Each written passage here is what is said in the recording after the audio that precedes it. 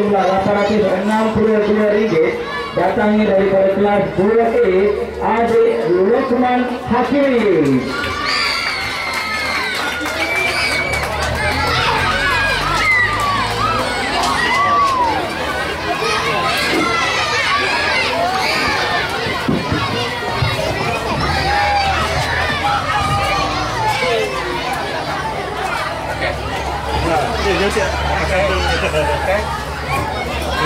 Meron din tayo din na